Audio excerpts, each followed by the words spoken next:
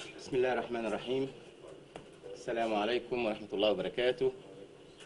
آه، السادة الضيوف الأفاضل اللي مشرفينا النهاردة.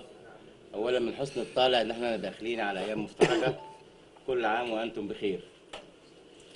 آه، النهاردة إن شاء الله عندنا لقاء آه، إعلامي لتوضيح بعض الحقائق لتوضيح بعض الحقائق.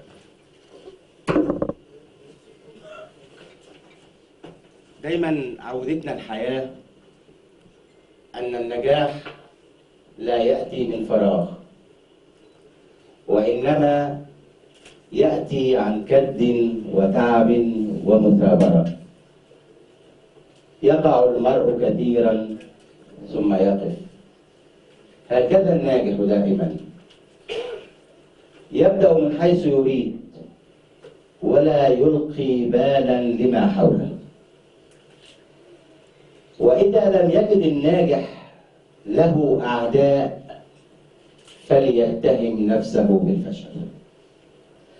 فالشجرة المثمرة هي التي تلقى بالحجر. أما الشجرة الجافة فلا يعيرها أحد اهتمام إذا كثر أعداؤك فاعلم أنك ناجح. وإذا لم تجد لنفسك عدوا فاعلم أنك فاشل. الصراع في عالم المال قديم جديد. في كل بلدان العالم. النامي منها والمتقدم. الغني منها والفقير. هكذا الحياة. الاقتصاد والبزنس ودنيا المال جزء من الحياة.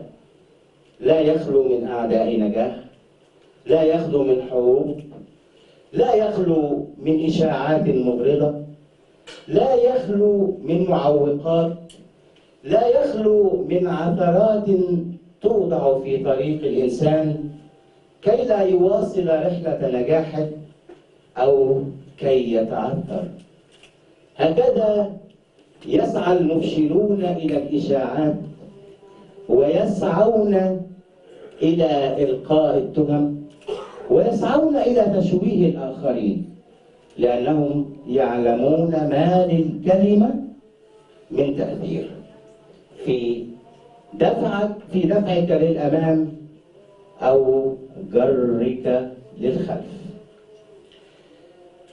أعذروني على هذه المقدمة الطويلة فلربما كانت هي حجر الزاوية في لقاء اليوم.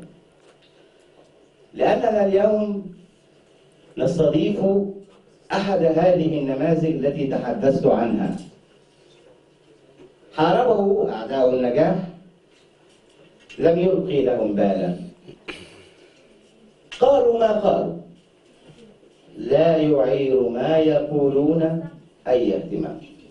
لقاؤنا اليوم وإن بدا أنه دعائي لكن هذا ليس صحيح لأننا نتحدث في قضية تمس الاقتصاد القومي تمس الوطن. حينما تحارب الكيانات الناجحة من أجل هدم كل نجاح في مصر وكل لبنة تضعها القيادة السياسية في مصر لدفع العجلة إلى الأمام فهنا هنا الأمر يتخطى حدود الفردية إلى الوطنية. دعوني أرحب بصديقي وهذا الناجح الذي مهما قلت عن جلده وصموده فأنا أعلم ما تعرض له وأعلم أنه قوي وأنه جلد وأنه عائد أقوى مما كان. دعوني أرحب بصديقي الأستاذ محمد صبري.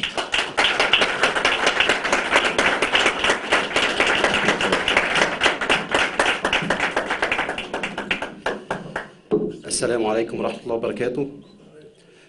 بسم الله الرحمن الرحيم. آه، طبعا بداية آه، بشكر كل السادة الحضور وبشكر آه، الأستاذ أحمد عصمت الصحفي والإعلامي الكبير والشاعر الكبير ورئيس مجلس إدارة آه، ورئيس تحرير مجلة المجد العربي. آه، على الكلام اللي أنا يعني كتير عليا جدا ولا أستحق. فجزاكم الله خيرا ألف شكر. وبشكر طبعا الناس كلها على على حضورهم الطيب وتعبهم وانتقالهم من محافظة الإسكندرية لغاية هنا في الجو ده. ولكن زي ما بشكر برضو بتقدم. ببالغ الأسف إلى بقية شركائي اللي هم بيشوفونا دلوقتي واللي آه، سعة المكان والوقت والظروف ما ادتنيش ال- الفرصة إن أنا و- وده للأسف الأول وبقول لهم إن أنا إن شاء الله بأمر الله عز وجل آه، هنعوض الكلام ده في مؤتمرات أخرى جاية وهتكون إن شاء الله أكبر من كده. والمؤتمر القادم هتكون في آه، المزرعة. آه، التي تمتلكها ويمتلكها شركاء الفتح آه، وهذه المزرعة التي تبلغ مساحتها ما يسع الحبايب وغير الحبايب يعني غير الحبايب كمان الناس اللي هتخش النار يعني هتسعهم كمان إن شاء الله. فإن شاء الله هيكون دي دعوة خاصة للجميع إن شاء الله جميع الشركاء في ال- المؤتمر القادم. وكذلك بتقدم لهم بالأسف أيضا على آه، ما مرت به آه، مجموعة الفتح الاستثمار من آه، من ظروف أثرت على الجميع ولكن آه، الجميع يعلم آه، القاسي والداني آه، آه، العادل والظالم إن آه، زي ما تقدم أخونا الأستاذ أحمد إن كانت دي حرب شنعاء وربما آه، لا يتخيل البعض إن إحنا كمؤسسة أو فرد أو مجموعة من الأفراد ده رمز لخوض هذه الحرب شئنا أم أبينا. يعني إحنا مجرد رمز. يعني إحنا مش هنقول إن إحنا أبطال رغم إن بقية الشركاء اللي إحنا بنسميهم شركاء النجاح طول عمرنا من أكتر من 20 سنة بنسميهم شركاء النجاح الناس دي أبطال وتستحق فعلا التقدير والاحترام وأنا أستأذن آه، أستوقف كلمتي واقف لهم تقديرا واحتراما على الله خيرا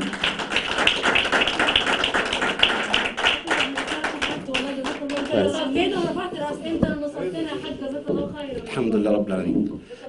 الله يعزك يا رب. فإحنا بنكمل بنقول إن إحنا رمز. إحنا آه، كلنا ولاد آه، مصر. مصر آه، مرت بظروف صعبة جدا مش هنقول بداية من آه، ثورة 25 يناير ولكن من قبل ذلك.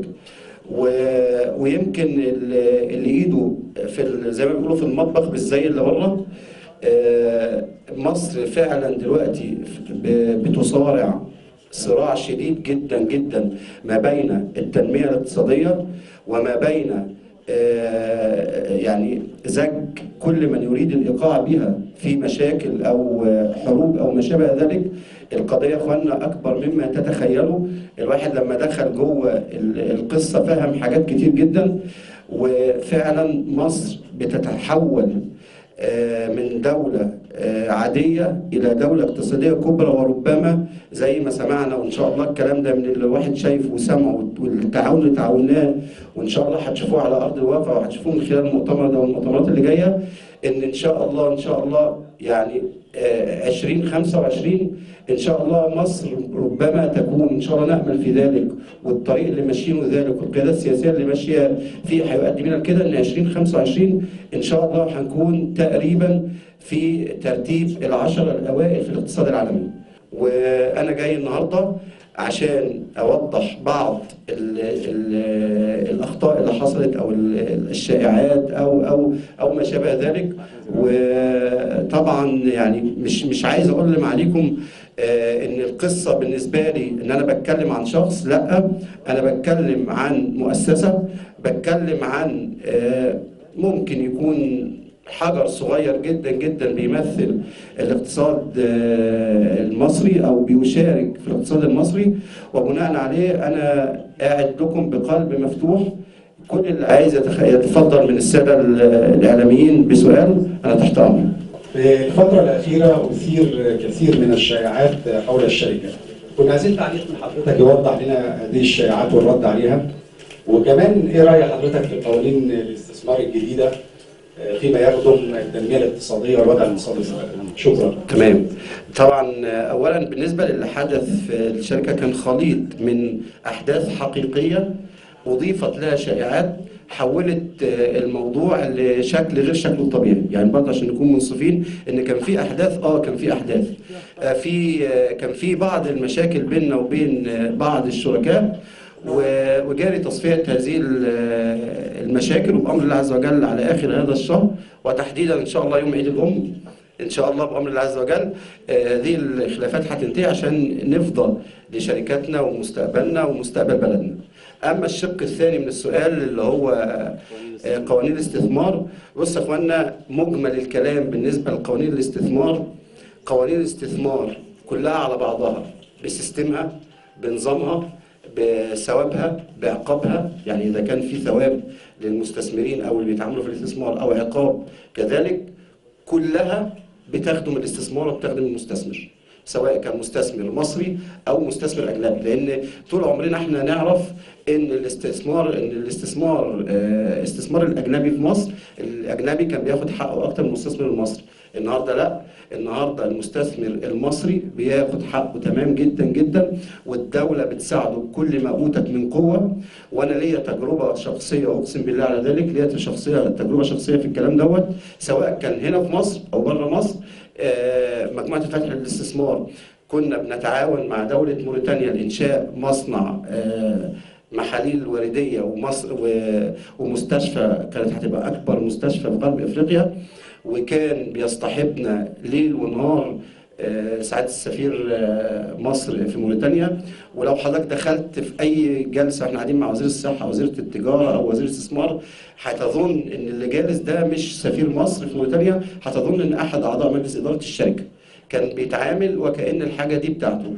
وكان دايما بيقول لنا آه، إن إحنا واخدين يعني order إن أي مستثمر مصري هيشتغل في أي دولة بره يكون من خلال الخارجية وندفع معاه بقوة ونساعده بكل ما اوتي من قوة عايزين نعرف من حضرتك إيه الإجراءات اللي اتخذتها الشركة لحل الخلافات القائمة بين الشركاء؟ بص حضرتك هي باختصار شديد طبعا هي ال- آه، آه، بيقول لك إيه كان خالتي وخالتك وتفرقوا الخالات صح؟ حضرتك صريح جدا يا آه. فندم وصادق وسمعهم في الله يعز حضرتك ربنا يكرم حضرتك يعني الناس ناس محترمة وشاركونا سنوات كتير وحدثت بمزاجهم غصب عنهم بمزاجنا غصب عننا أي خلاف. فبفضل الله عز وجل إحنا بنعمل تخارج للي عايز يتخارج. وإن شاء الله على على يوم 21 مارس إن شاء الله بأمر الله عز وجل هنقدم هدية لأمي والامهات كلها بهذه المناسبة.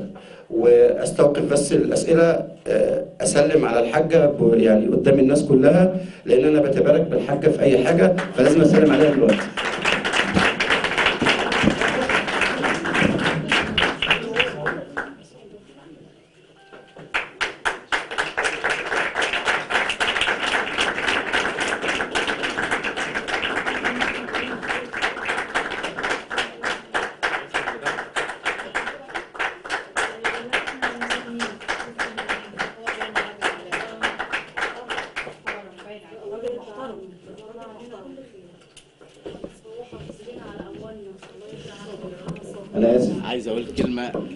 اللقطة دي اللقطة دي بالمؤتمر كله.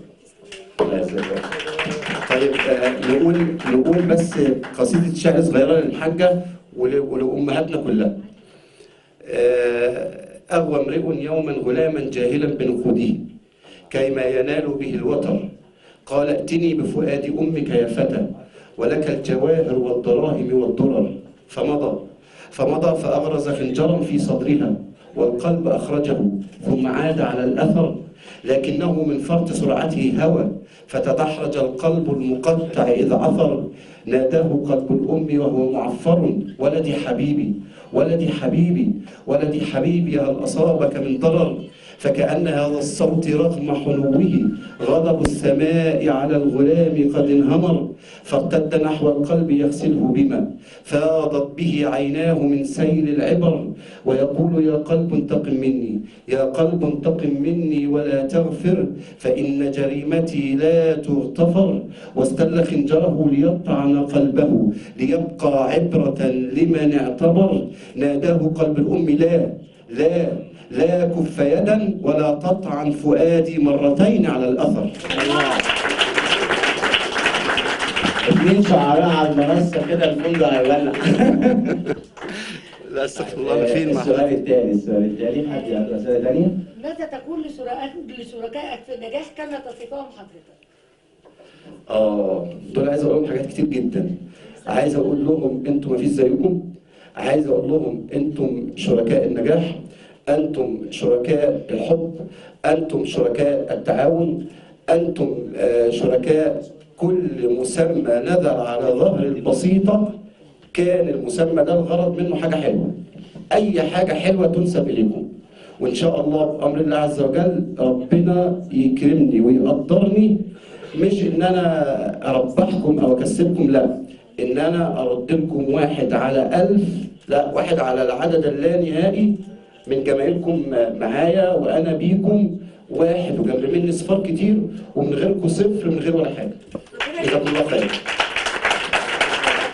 إحنا قلنا بأمر الله عز وجل هيبقى في آه، مؤتمرات آه، بعد كده ولكن آه، هنبتدي النهارده المفاجأة لإخواننا شركاء النجاح وبنقدم برضو حاجة صغيرة عرفان بالجميل. لوطننا اللي أنا في الفترة الأخيرة دي بالذات أدركت معنى كلمة وطن. آه، وأتمنى من الله عز وجل والله إن أنا لو مش كلام بقى ولا كلام للتداول ولا الاعلام ولا ولا لأي مسمى وحش ممكن حد ياخده الظن كده أتمنى أقسم بالله إن أنا يعني لو أفقد روحي في سبيل وطننا وإن أنا أعمل أي حاجة. لأن أنا يعني الفترة الأخيرة دي أدركت بالفعل معنى كلمة وطن وعلى ذلك يا إخوانا آه، إحنا اتفقنا على بعض المشروعات ولكن المشروعات اللي ممكن آه، تمس آه، الاقتصاد وفي نفس الوقت تمس كل فرد في مصر. كل فرد وبالذات ال- أفراد الشعب اللي هم عانوا كتير جدا في حياتهم من ارتفاع الأسعار و و و. وعلى ذلك إحنا بنعلن النهارده المفاجأة الأولى ولكنها مفاجأة كبرى إنما هي مفاجأة أولى. وأنا بقول مفاجأة أولى عشان يعني. خاطر انفراد يعني. انفراد إن شاء الله بأمر الله عز وجل إن هينضم لمجموعة الفتح للاستثمار واحدة من أكبر الشركات في مصر لصيد الأسماك هي شركة الشركة المصرية العربية لصيد الأسماك من أكبر الشركات اللي بتنزل بتنزل في بحيرة ناصر آه، والشركة دي هيكون الغرض منها اولا آه، الربح للشركاء النجاح. ثانيا آه، يعني هن- هن- هن- هنساعد بيها في حل مشكلة البطالة فهنحتاج مش أقل من ألف شاب إن شاء الله. الحاجة الثالثة إن ودي أهم حاجة طبعا إن إن شاء الله بأمر الله عز وجل آه، تقريبا إن الشركة نشاطها إن إحنا هنقدر إن شاء الله وده وعد واتحاسب عليه أمامكم امام الله عز وجل وأمام كل حاجة إن إحنا إن شاء الله هننزل بسعر كيلو السمك ل 20 جنيه. أنا لا سقف بقى هنبقى من موريتانيا لا موريتانيا موريتانيا هنستورد برضو هنستورد برضو سمك من من موريتانيا آه، فاحنا بنقول هنستورد برضو من موريتانيا وطبعا شركاء النجاح آه، هي- هيشاركونا في حاجة إن بجانب آه، يعني شركة الصيد دي إن إحنا هنفتح فروع على مستوى جمهورية مصر العربية للتوزيع. فالفروع دي أنتوا اللي هتفتحوها معايا. يعني هيبقى كل فرع هفتتحه هيكون معايا جزء من الشركاء يحضروا هذا الافتتاح.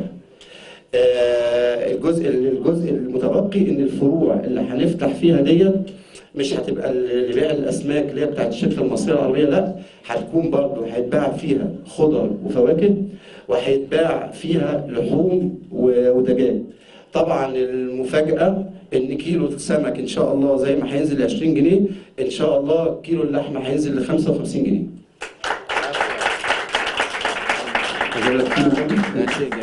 كل ده من ورايا بكرر شكري في نهاية المؤتمر وبقول إن شاء الله آه، المؤتمرات الجاية هيكون فيها كل شركائنا وتحديدا المؤتمر الجاي إن شاء الله هتكون آه، مزرعة الفتح اللي إن شاء الله هتساعد الناس كلها بأمر الله عز وجل وبعتذر لكل واحد ما لعناهوش لأن زي ما حضرتك شايفين المكان محدود وإن شاء الله بأمر الله عز وجل الأيام جاية كتير. بأمر الله عز وجل. والف ألف شكر لل- للحضور واللي سمعونا دلوقتي وألف شكر للسادة القنوات والصحفيين والاعلاميين اللي تعبناهم وجبناهم في الجو الممطر ده. جزاكم الله خيرا والسلام عليكم ورحمة الله وبركاته. معانا النهارده الكاتب الصحفي أحمد عصمت رئيس مجلس إدارة ورئيس تحرير مجلة المجد العربي. بوصفك كرئيس تحرير وعضو المجلس الأعلى للصحافة الأسبق. آه، إيه الدور اللي ممكن تلعبه القطاع الخاص في الفترة القادمة؟ وما هو مردود استثمار آه، شركات مثل شركة الفتح للاستثمار في دعم الاقتصاد المصري وخفض الأسعار؟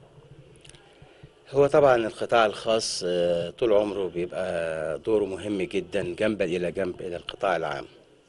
لما خلاص ما بقاش في قطاع عام فبقى القطاع الخاص هو هو الاقتصاد. طيب آه، أنا من أنصار الاقتصاد والاستثمار البناء. ويمكن ده اللي عجبني في آه، مؤتمر النهارده وعشان كده شرفت بالحضور وبتقديمه كمان. إن شركة الفتح للاستثمار بتستثمر في استثمارات مفيدة للمواطن المصري. مردودها يعود على الشعب المصري على المواطن البسيط وبتوجه رسالة بتقول إنها قادمة بقوة وإنها هتفتح مجالات جديدة وآفاق جديدة في مصر والدول العربية وأفريقيا ويمكن هتدخل هتستثمر في مناطق يعني لم يتطرق إليها القطاع الخاص قبل كده وده اللي شجعني بجد إن أنا آجي لأن أنا محت- محتاجين نموذج زي نموذج ال- ال- ال- اللي موجود النهارده زي شركة الفتح وغيرها في في شركات وطنية جميلة جدا محتاجة إنها يعني تدعم عشان كده أنا لبيت الدعوة النهارده وحضرت هذا ال- المؤتمر لدعم آه، مثل هذه التجربة ال- المفتقدة والمطلوبة بشدة. والله هو يعني أجمل حاجة عجبتني النهارده في المؤتمر الصحفي هي المفاجأة اللي فعلا قالها الأستاذ محمد صابر وأنا بحييه وبحييه بشدة. آه، يعني يا ريت ناس كتير تحذو حذو هذا الرجل إنه بي- بيستثمر في شيء مفيد في شيء يبني اقتصاد في شيء آه، يضيف الاقتصاد المصري آه، في شيء يعود بالنفع على المواطن الغلبان. مش استثمار في سلع استهلاكية. آه، لبان وبسكوت وحلويات ومثل هذا القبيل مثل هذه النوعيات من الاقتصاد ومن الاستثمار لا تبني أمة. هي يعني هي تجيب ربح لأصحابها آه. لكن ما تبنيش اق- اق- اقتصاد دولة. لما يجي واحد زي الأستاذ محمد ويستثمر في مجالين مهمين جدا مجال الثروة الحيوانية ويعلن خفض كيلو اللحمة ل 55 جنيه ومجال ال- الثروة السمكية ويعلن إن كيلو السمك هيبقى ب 20 جنيه. لا أنا أحييه وفي يعني أرفع له القبعة وبقول له جو اهيد ويا ريت كلنا كشركات استثمارية في مصر نحذو حذو هذه هذه الخطوة يعني. هذه هي المرة الأولى التي تشارك فيها آه، في مؤتمر صحفي آه، لإحدى الشركات. لماذا حرصت على حضور هذا المؤتمر بل وتقديمه أيضا؟ هو زي ما حضرتك تفضلتي أنا فعلا دي أول مرة أحضر آه، مؤتمر آه، اقتصادي عن عن شركة أو مقيمة آه، شركة أو مقام حول شركة لسببين.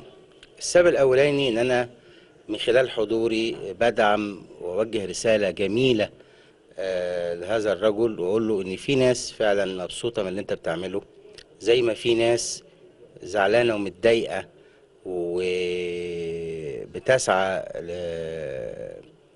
ل... يعني لوقت هذه التجارب. في ناس محبة وفي ناس فعلا بتسمن هذه الخطوة.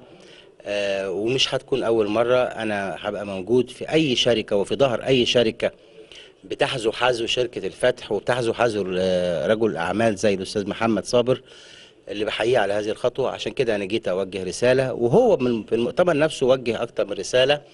آه، أنه آه، مش هيلتفت لأي كلام آه، غير صحيح أي إشاعات مغرضة أي معوقات يضعها أعداء النجاح في طريقه.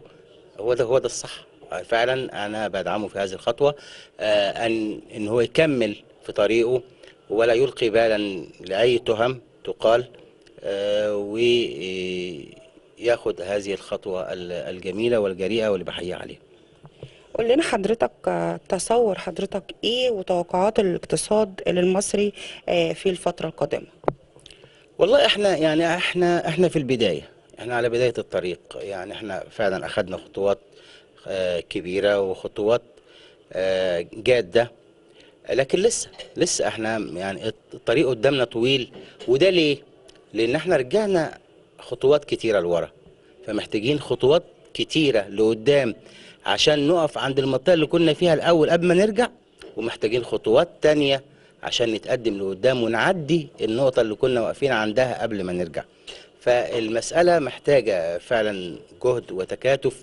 آه، كل رجال الأعمال وإنهم يعملوا لصالح بلدهم فعلا بجد فعلا لا قولا. ويمكن ده اللي عجبني برضو للمرة التانية في مؤتمر النهاردة وعجبني في الأستاذ محمد صابر إنه بيستثمر في قوت المواطن الغلبان.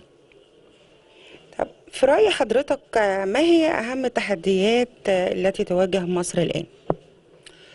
والله عندنا تحديات كتيرة جدا يعني. عندنا تحديات سياسية لا حصر لها ولا آخر. وعندنا تحديات أمنية آه، على الحدود شمال وجنوب وشرق وغرب. وعندنا تحديات اقتصادية عبور عنق زجاجة.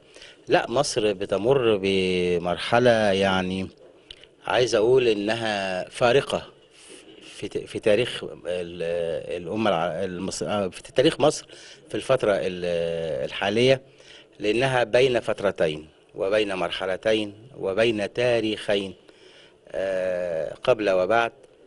فلا في تحديات كتيرة جدا. لكن أنا متأكد إن إحنا بمزيد من الحنكة السياسية التي نملكها والدهاء السياسي والدبلوماسي الذي نملكه قادرين آه، على صد وردع أي محاولات لزعزعة آه، الاستقرار في مصر ولتهديد حياة الشعب المصري. وأنا أعني بهذا الأمر طبعا آه، سد النهضة لأن مسألة حياة أو موت كما قال السيد الرئيس. وخط أحمر وأنا مبسوط من الرسائل التي وجهت مؤخرا في الفترة الأخيرة عبر السيد الرئيس آه، للقابعين في الجنوب أن مصر وأمنها خط أحمر.